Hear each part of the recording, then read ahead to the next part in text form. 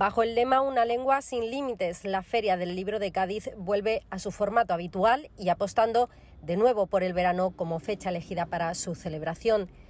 Se esté convirtiendo en una actividad referencial no solo eh, desde el punto de vista literario, sino también desde el punto de vista de encuentro cultural y de convivencia en la ciudad. Del 8 al 17 de julio, hasta 70 escritores visitarán la muestra y se realizarán hasta 90 actividades con importantes novedades. Para el nuevo coordinador, Alejandro Luque, esta feria es una apuesta por hacer más grande la cita. No solo se dobla en contenido, también se contará con destacados nombres de las letras de dentro y fuera de nuestras fronteras. Presupuesto que puede tener una feria de Sevilla o no digamos de Madrid o un San Jordi en Barcelona, pero queríamos dar el salto a la internacionalidad. En verano Cádiz es internacional, se llena de gente de todas partes del mundo y creo que la feria tenía que responder a ese, a ese espíritu. De modo que vamos a tener autores, eh, creo que por primera vez, autores de, eh, procedentes de 10 países.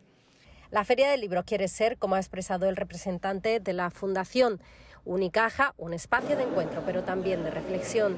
En muchas ocasiones estas, estas actividades no solamente eh, sirven para celebrar el fenómeno cultural que supone la literatura, sino también para dejar pozo en la ciudadanía y que una vez pasado el evento como tal, eh, los lectores sigan eh, notando en ellos la huella que ha podido dejar la feria volverá a contar con stands en los que participan libreros y editores. La autora del cartel ha sido la ilustradora María Gómez y entre los nombres de los autores Rosa Montero, Benito Olmo o el superventas juvenil Blue Jeans.